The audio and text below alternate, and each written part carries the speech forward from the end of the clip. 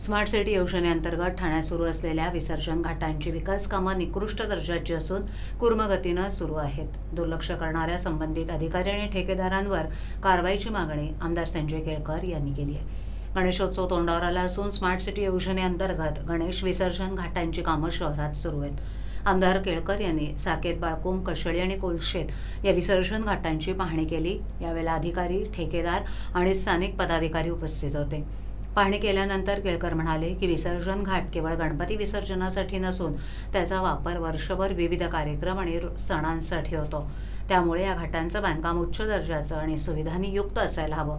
या विकास कामांसाठी पंधरा कोटी रुपये खर्च करण्यात येत आहेत. साधारणपणे ठेकेदारांना अठरा महिन्यांचा कालावधी देण्यात येतो. मात्र या घाटांची कामं निकृष्ट दर्जाची असून ती गुरुमगतीनं सुरू असल्याचं केळकर म्हणाले.